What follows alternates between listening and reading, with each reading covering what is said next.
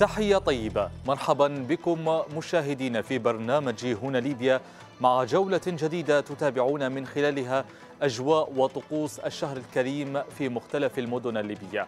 وكما عودناكم في هنا ليبيا نرصد لكم آخر مستجدات الأنشطة الرياضية بين الدوريات والأمسيات والفعاليات الثقافية والرياضية. ابقوا في المتابعة.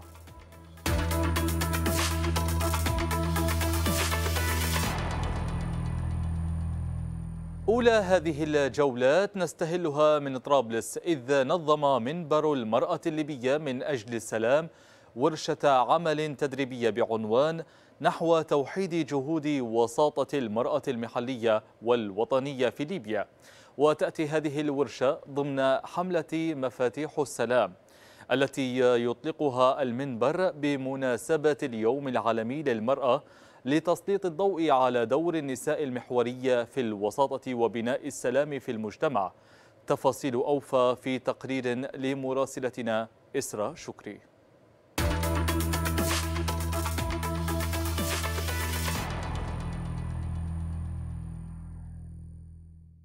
طبعا هذا البرنامج يهدف إلى تكوين شبكة الوسيطات المحليات الليبيات أسوة بالدول الأخرى لأن نعرف أن إحنا ليبيا مرت بنزاعات عديدة من 2011 إلى حد الآن. فنحتاج أن تكون المرأة مشاركة مشاركة حقيقية في الوساطة لا أن تكون مثلا أنها هي في أثناء النزاعات تكون مشاركة ولكن أثناء الحوار أو أثناء مثلا الوصول إلى اتفاقيات تستبعد المرأة. فبالتالي وبالتالي نحن نريد أن نعزز وجود المرأة ودورها المخفي الذي تقوم به من الوساطة حتى يكون لها دور حقيقي وفعال على طاولة الحوار ووجود حقيقي بالأرقام الحقيقية في طاولة الحوار. حيكون اللي هو وضع مقترحات إن مثلا اسم الشبكة في المنطقة الغربية مثلا ما هي التحديات التي تواجه المرأة مثلا في الوساطة؟ تسليط الضوء على دور النساء أكثر تسليط الضوء على الوسيطات اللي اشتغلوا في الوساطة سابقا. يعني توثيق. إحنا نفتقد إلى قاعدة بيانات للمرأة لأن فيه جهود للوساطة ولكن جهود غير موحدة. كل مرأة تشتغل على حدة. نتيجة تحديات معينة تعاني منها كل النساء يعني في الوساطة فبالتالي نحتاج إلى توحيد هذه الجهود وحتى تكون كلمة المرأة قوية في الوساطة ويكون لها دور أكثر. إحنا اليوم في ورشة عمل بخصوص وسيطات السلام نساء وسيطات السلام. طبعا في العالم كله وفي العالم العربي في شبكة وسيطات السلام. طبعا إحنا موجودات وسيطات السلام الليبيات موجودات في كل منطقة وفي كل بلدية ولكن بدون ظهور لعملهم اللي هم قايمين به في في بلدياتهم.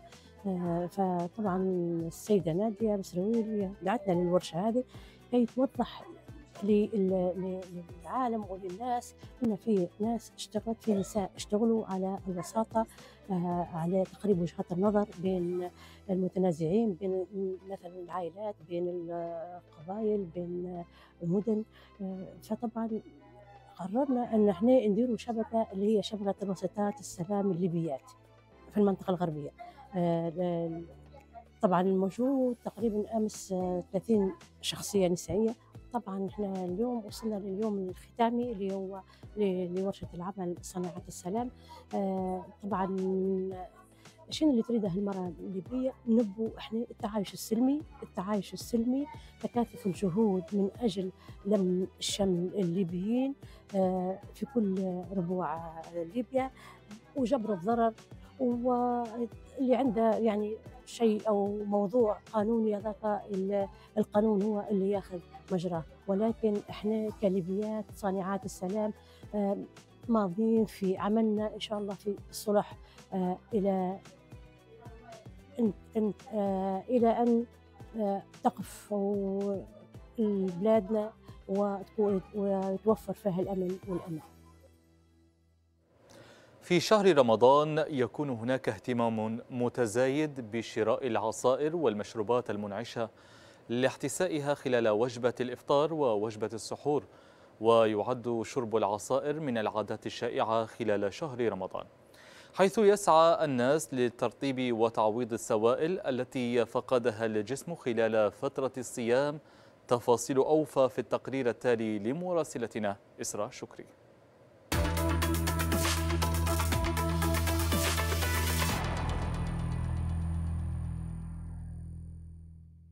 كل سنة وأنتم طيبين أول حاجة وبسم الله الرحمن الرحيم. آه، في البداية ديما العصائر الطبيعية شيء مفيد جدا في شهر رمضان خصيصا إن الإنسان ديما يفقد آه، هلبة فيتامينات وهلبة أشياء في الجسم فالفواكه الطبيعية ديما تعوض الحاجات هذه. العصائر ديما إحنا نركزوا على المكسات. يعني المكسات العصائر ديما إحنا مشهورين بهم في كافيه طازه يعني ونوفروا فيهم فكثير الناس تجيها على خاطر الأشياء هذه يعني آه، لأن المكسات المكسات ديما الطعم بتاعها يختلف عن الطعم اللي هو متعودين عليه اللي هو المانجا والفراولة وال- والأناناس بروحها.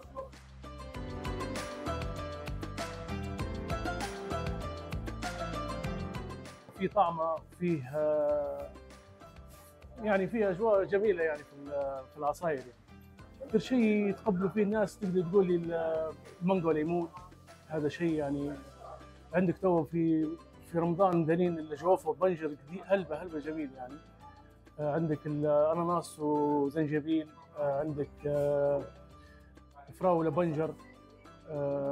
في هل في هلبة مكسات لكن أكثر شيء تقدر تقولي إن المانجا والليمون. وبالنسبة للسموتيات هو سموتي فيستك هذا يعتبر number 1 يعني بكثرة جدا يعني ياخذوا فيه عليه الطلب هلبة. باهي وبعدها يجي سموتي لوز وبعدها يجي الغلال الغابة اللي هو سموتي توت. آه وفي الميلك شيك نوتيلا حتى هو. آه توصل له بطريقة المكسات اللي ديرها ديرها يعني تخلط حاجة بحاجة يعني تعطي طعمه جنينة يعني زي نقول الجوافة جوافة يعني ما فيني ما تقبلهاش هيك يعني صادة ما تقبلهاش. لكن كيف مع البنجر ويكون معاه شوية سكر ما تكترش السكر يعني تجي طعمتها جميلة جدا. وفيه زي المانجا والليمون. يعني حمضي لكن ما تحسيش انه هو مع المانجا ما تحسيش انه مانجا رزين. ما تحسيش إن هي يعني تدير لك حموضة يعني كويسة جميلة. قالوا بنجر فيه فوائد هلبة اللي هو البنجر يعني يزيد الدم آه، فوائد آه، يزيد هلبة شيء أشياء يعني آه، فهذا الشيء اللي يكون فيها تعويض للجسم وفاكهه لها دور كبير. هذا شيء كبير ما يعرفوش هلبة ناس. يعني آه، اللي هو الفاكهة بجودة مختلفة. يعني في في السوق فاكهة بأجواد مختلفة بأسعار مختلفة. فإنك أنت كيف تركز على الفاكهة بالجودة الممتازة ويكون السطالي عندك يجيب في وزنة ال- العصير والسكر في وقت رمضان اللي هو اللي وقت ما يقدرش حتى يدور فيه يدور يعني ما يقدرش يذوق فيه العصير يعني منيح ولا مش منيح لكن هو عارف وزنه وزنته بالضبط. عرفتي؟ إنه يجيب لك عصير 100% نوع آخر من الوجبات التي يكثر عليها الإقبال عليها في الشهر الفضيل الحلويات وخاصة البكلاوة. إذ تعد البكلاوة الطرابلسية من الحلويات التقليدية الشهيرة في المجتمع العربي وتعتبر وجبة رئيسة في شهر رمضان المبارك. وفي الفترة الأخيرة شهدت أسواقنا ارتفاعا ملحوظا في أسعار البكلاوة الطرابلسية. ولكن لم يؤثر ذلك على عادات وتقاليد الليبيين لشرائها قبل وقت الإفطار. مراسلتنا إسراء شكري نقلت لنا الأسعار في هذا التقرير.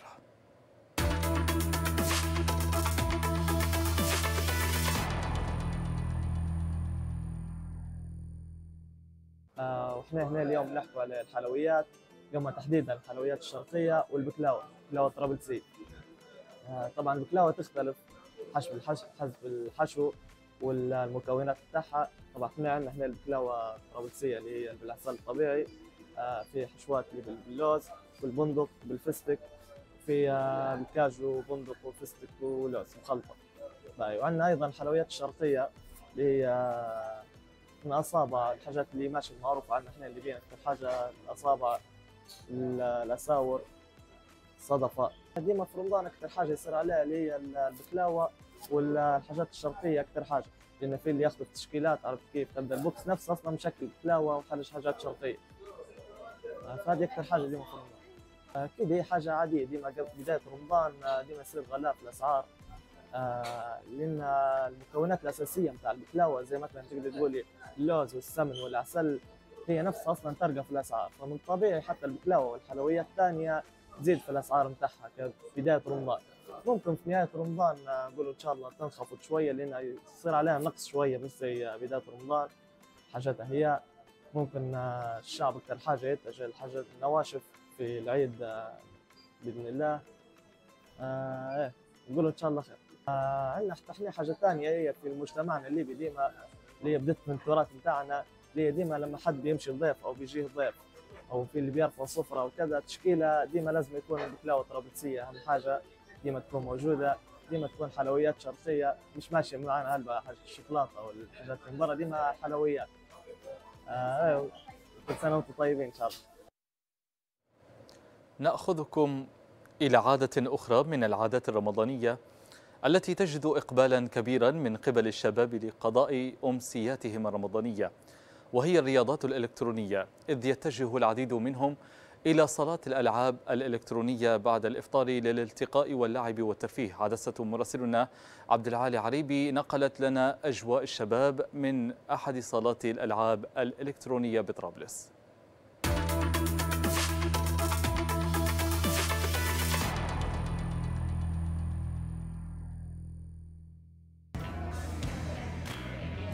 لطالما كان الشهر الفضيل بمثابة لم الشمل والتواصل لدى الليبيين. وبالنسبة للشباب يجد العديد منهم جمعتهم في صالات الألعاب الإلكترونية والتي بدورها تطورت عبر الزمن لتصل لهذا الشكل الذي نراه اليوم. ففي ليالي رمضان ومن بعد الإفطار وحتى وقت السحور يقضي عديد من الشباب وقتهم في هذه الأماكن. صالات ال PlayStation آه، هواية هي الكورة هواية ال PlayStation الكورة. ولعب ممتع وجو مليح. قصدي خير من العكسة في الشارع وخير من الكساد. تجي تلعب ستيشنك انت وجروبك تعكس. وبسم الله ما شاء الله قصدي إحنا بالنسبة للصالة هذه ربي يبارك معامله الشباب ربي يبارك. إحنا نجيو كل فترة وفترة ما نغيبوش كل يوم اثنين ناخذ ثلاثة أربع ساعات جو مليح. ولا من يضايقك ولا من يزعجك. خيارات متعددة بين الألعاب الفردية والجماعية مع توفر بيئة جيدة ومناسبة لأجواء اللعب. حتى أن العديد من الشباب يمكن أن يحولوا الهواية إلى مصدر دخل خصوصا إذا توفرت الإمكانيات اللازمة. بحكم أنه وقت فاضي وتعطيك هنا ترفيه لبعض الشخصيات من الناس تستريح في اللعب الجيمنج و كان يعتبر أفضل من أماكن ثانية تلهيك على هلبة أشياء الحق. أكيد. وشيء سهل هلبة لهلبة ناس عندها نية تتعلم في هلبة ألعاب تقدر تدخل منها. عندك شيء إشكالية. لكن يعتبر صعب شوية هنا في ليبيا بحكم النت والجو ما البناس تهرب من المجال أوقات الفراغ لدى الشباب توجب عليهم ملأها بما يتناسب مع هواياتهم ومهاراتهم. فغير كون هذه الهوايات غير ضارة نسبيا إلا أن توفر البيئة المناسبة للتطور ومواكبة باقي دول العالم ضرورية لتحويل المواهب في الرياضات الإلكترونية لمصدر رزق للاعبين. عبد العالي عريبي دبليو تي في طرابلس. مشاهدينا فاصل قصير ومن ثم نعود ابقوا في المشاهدة.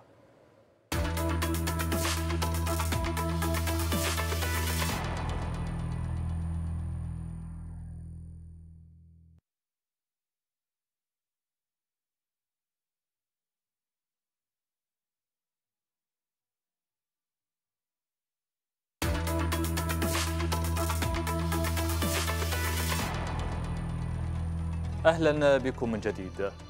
في طبرق وفي إطار حملة مفاتيح السلام التي يطلقها منبر المرأة الليبية من أجل السلام بمناسبة اليوم العالمي للمرأة لتسليط الضوء على دور النساء المحوري في الوساطة وبناء السلام في المجتمع.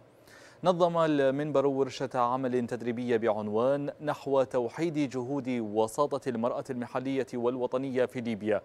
من طبرق مراسلنا محمد العوكلي نقل لنا أجواء التظاهرة.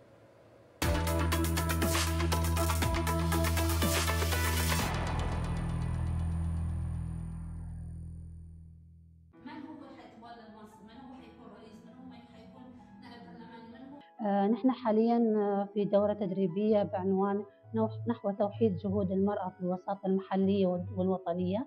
إن شاء الله الدورة هذه حتستهدف 20 سيدة من من خمس مدن اللي هي وطبركات من ضمن المدن المستهدفة اللي حتقام فيها الورشة التدريبية.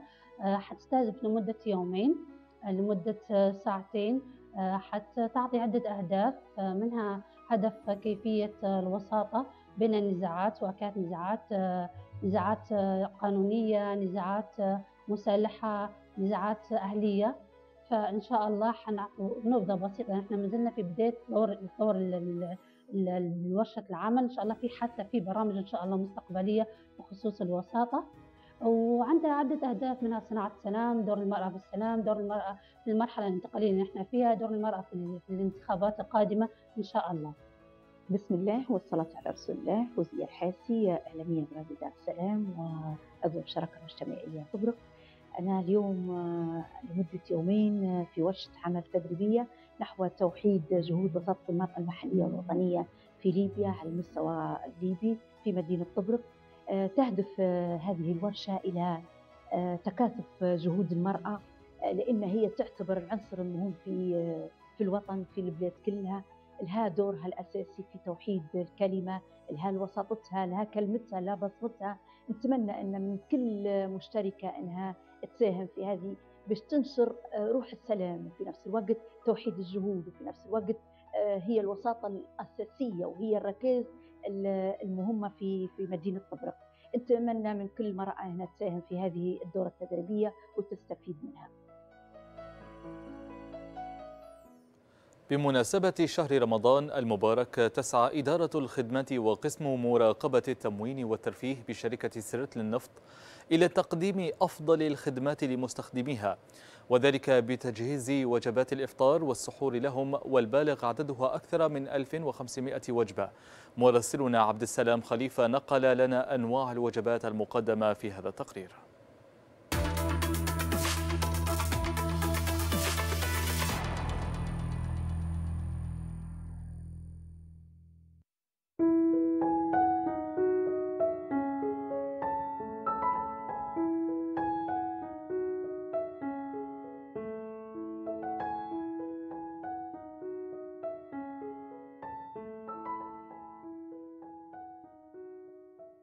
حارس إدارة الخدمات وخاصة قسم مراقبة التموين والترفيه بتقديم الأفضل للمستخدمين خلال شهر رمضان المبارك من وجبة إفطار وكذلك وجبة سحور. البالغ عددهم 1500 وجبة إفطار المستخدمين خارجية أو داخلية داخل الصالة وكذلك وجبة السحور منها 1000 وجبة داخلية و600 وجبة خارج الصالة. نقوم بإعداد جدول مختلف عن الوجبات العادية من شهر رمضان. حرص قسم التموين بإعداد وتميز وجبات خاصة للمستخدمين متنوعة وخاصة في وجبة الإفطار بنوعين من الشربة اللي هي الشربة العربية أو الشربة الخضروات منها تتقسم على مدى الأسبوع. تقديم وجبات اللحوم الوطنية خلال الأسبوع كامل تقريبا منها عدد يومين فقط. وكذلك تقديم نوعين من المعجنات أصناف من السلطات وتقديم نوعية تمر نوعية جيدة وكذلك الحليب وكذلك المشروبات الغازية كما يتم تقديم وجبات الحلويات خلال الشهر منها بسبوسة ومنها البكلاوة ومنها الملفية ومنها عدة عدة أنواع من الحلويات خلال شهر رمضان المبارك. كما تقوم في وجبة السحور بتقديم نوعية من الوجبات الساخنة كما الوجبات الباردة اللي هي المربى الزبدة الكورنفليكس النوعين من الأجبان البنكيك الخبز العصائر الفواكه المشروبات الطبيعية الحليب البارد والساخن التمور. يعني شنو نقول لك؟ يعني حارسين بكل ما أدانا الله بثقة أن نقدم الأفضل لجميع المستخدمين خلال شهر رمضان المبارك وإن شاء الله نكونوا عند حسن الظن. محمد الساعدي من سكان مدينة ضبرق يعمل من أجل توفير دخل لأسرته عن طريق إعداد خبز التنور وبيعها للمحلات التجارية والمواطنين. الساعدي الذي تعلم إعداد الخبز من والدته منذ فترة طويلة أصبحت اليوم مصدر دخله الأساسي لتوفير لقمة العيش لأسرته. تفاصيل قصة محمد الساعدي نقلتها لنا عدسة مراسلنا محمد العوكلي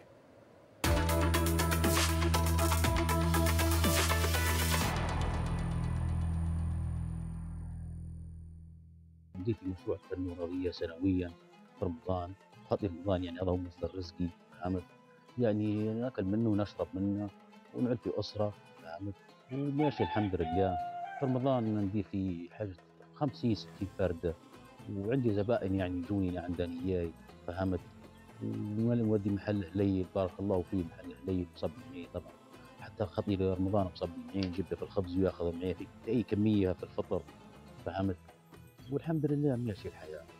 وبديت فيها من حوالي تو ثلاث سنين نبيدي أو أربع سنين فهمت؟ لكن طبعا كل كانت كل رمضان ندير فيها. فالسنه هذه هي نجي لعت حليل ناخذ منهم في ناخذ من حاجات للحوش وني آه، نسأل فيه نقول لهم الحق في عندنا خبز تنور نقول لهم يا جماعة أنا ندير خبز تنور ونصنع فيها وني. شو قالوا لي؟ برضه وكذا جيب نجرب. وجبت لهم خمس فرادي فتموا يطلبوا عليه الزباين قالوا لي ما شاء الله عليها خبز السمحة وني بفضل الله ذا كله وقعدت نجيب لهم. هني نوصل فيه لهم لعند في اليوم 20 فرد. 15 فرد 17 هذه في الفطر في الصبح وفي العشية يقولوا لي جيب لنا خمسة ست فرادي وانت تحت ظروف البلاد هذه واحد لا راتب لا شيء وش بيدير ظهور إنه يكافح فيها الحياة؟ يجري على لقمه العيش يوكل عويلته ما يصبش عليه حد فهمت؟ والحمد لله مستورة. يعني ناكل ونشرب ما في حد يعني يريد والحمد لله. طبعا طريقة الخبز هذه كيف تعلمتها أنا حياة الوالدة الله يرحمها. طبعا أنا حياة والدتي مصرية من مصر. بس جاء لها فترة هنا وتعلمت خبز التنور ونيم الصبايا. أه تمت تدير فيها تمت ما شاء الله عليها بروحها تدير في خبز صح. فهمت؟ قاعد ديما نتفرج منها وناخذ في القرميشة فطلع القرميشة هذه نقلع فيها منها وناكل فيها.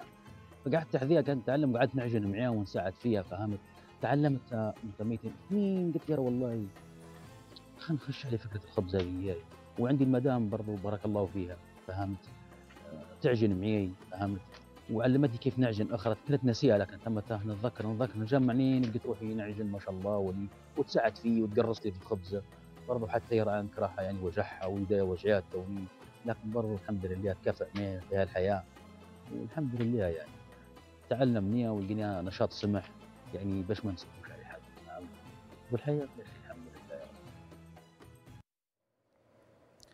ككل رمضان ووسط أجواء اللمة والمحبة يجتمع سكان حي الشعبية بطلميثة على مائدة إفطار جماعية. عادة داءب عليها سكان الحي منذ عشر سنوات يختارون يوما من أيام الشهر الفضيل للإفطار الجماعي. وتشرف سيدات الحي على إعداد وتجهيز وجبات الإفطار بأصناف مختلفة. من الأطباق الشعبية. إفطار يجد فيه الجيران في طلميثة فرصة للتقارب ولجمعة طيبة. أجواؤها نقلتها لنا عدسة مراسلنا محمد الحاسي.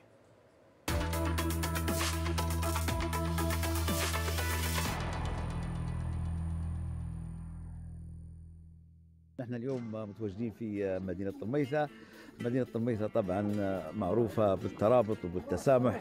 هذه طبعا عادات كانت عند أبهاتنا وأجدادنا وحيوها الشباب ممكن بستايل آخر واللي هي أنهم يختاروا يوم في رمضان ويجمعوا فيه الجيران وما فيهاش تكلفة طبعا. كل واحد يجيب يجيب فطورة معاه ويجي وفي اللي ممكن له شهر ما لقيش جارة وما خوه. ويبدأ فيها التجاذب الحديث وانت وين كنت وشو أخبارك وشنو أمورك. ونسأل بعضنا وبارك الله في الشباب اللي ما زالوا ماسكين في هالعادات الطيبة اللي نحن بلاهن ما نسووا شيء. صراحة إحنا راهو كمجتمع ليبي الميزة اللي عندنا اللي هي التسامح والترابط والفزعة وانك تسامح وتسأل على جارك وتفزع معه. مرحبا بك في طلميثة. أه الحقيقة طلميثة مش أول مرة تدير الفطور الجماعي هذا. يعني عادة عندنا في في طلميثة لكن المرة هذه كان بشكل أوسع شوي. والفطور الجماعي من من شأنه إنه يقرب القلوب لبعضها. أيوه حتى هم ناس وجيران وأصحاب لكن عاد مرات ما يلتموا إلا في الاجتماع كي الاجتماع. وإن شاء الله ديما طيبين ونسأل الله أن يعم الأمن والأمان على ليبيا. وإن شاء الله ديما طيبين كل سنه وأنتم طيبين نشكر الجيران والضيوف والشباب لافته الطيبه اللي داروها وبارك الله فيهم. وفي ظاهرة طالعة في طلميته هنا ظاهرة القبليه هذه عرفت ظاهرة القبليه هذه ما طلميته ناجع واحد. لا في واحد عقيلي لا في واحد ادرسي لا في واحد هني طلميته كلها مخلطة. من جميع القبائل عرفت؟ البخوت كلها ونجع واحد طلميثة وبارك الله فيكم. بارك الله في القناة وبارك الله فيكم وديما طيبين. والله لمة جميلة و- والشعب الليبي يعني شعب مودة والدنيا جميلة يعني وكل سنة وأنتم طيبين إن شاء الله يعني. مبارك هذه اللمة وهي اللمة الثالثة على التوالي. وإن شاء الله كل عام وأنتم بخير ونوريها منا طميثة طميثة ناجع واحد وما فيش لا القبلية وكل سنة وأنتم طيبين. ونحن أخوت وإن شاء الله ديما على الخير ملتمين وبارك الله فيكم وإن شاء الله كل سنة وأنتم طيبين. وهذه لمة جماعة الشعبية بادرة طيبة من جماعة طميثة كلهم يعني. كل مرة سيرة في مكان عرفت؟ المرة هذه جات في الشعبية أنا وهم شباب طميثة كلهم خوت وشباب ما واحد كلهم ما فيش فرق بين هذا ولا هذا كله تلتم مع بعضها كلها واحد. طريقة الفطور الفطور هل متكفل به حد ولا كل لا لا لا لا جمعية كل واحد يجيب حاجة من الحوشة واللي يجيب طولة واللي ما فيش حاجة إجباري عرفت؟ دايرين نظامك والجو كله بالتكسيدة ولمة الشباب هذوما كلهم. هاي كل سنة تديروا فيها ولا هذه سنة؟ هذه كل سنة وكل سنة تجي في مكان عرفت؟ مرات أنا أجي في الشعبية مرات أجي في الشعبية البيضاء مرات أجي في المشروع. لكن أنا السنة هذه جات في الشعبية ال- الشعبية الحمراء هي شعبية وإن شاء الله كل سنة وأنتم طيبين وإن شاء الله ديما ملتمين على الخير وكل عام وأنتم طيبين. من طلميثة نكون قد وصلنا بكم إلى نهاية جولتنا الرمضانية لليوم. موعدنا يتجدد معكم في جولة جديدة. تقبلوا تحياتي أنا محمد دينالي. دمتم في أمان الله.